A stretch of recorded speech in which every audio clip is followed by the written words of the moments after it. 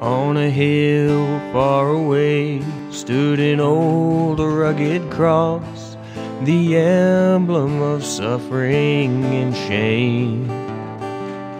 And I love that old cross where the dear stand blessed, for a world of lost sinners was slain.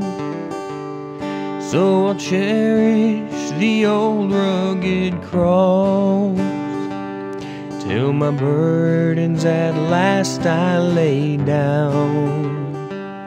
I will cling to the old rugged cross and exchange it someday for a crown.